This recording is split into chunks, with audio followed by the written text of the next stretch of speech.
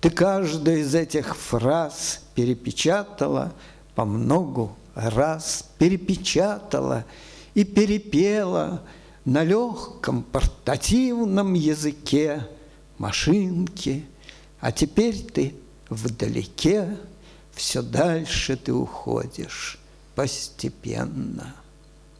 Перепечатала, переплела то с одобрением, то с пренебрежением, перечеркнула их одним движением, одним движением со стола смела.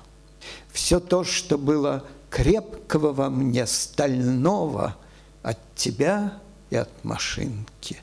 Ты исправляла все мои ошибки, а ныне ты в далекой стороне, где я тебя не попрошу с утра ночное сочинение отпечатать. Ушла, а мне еще вставать и падать и вновь вставать.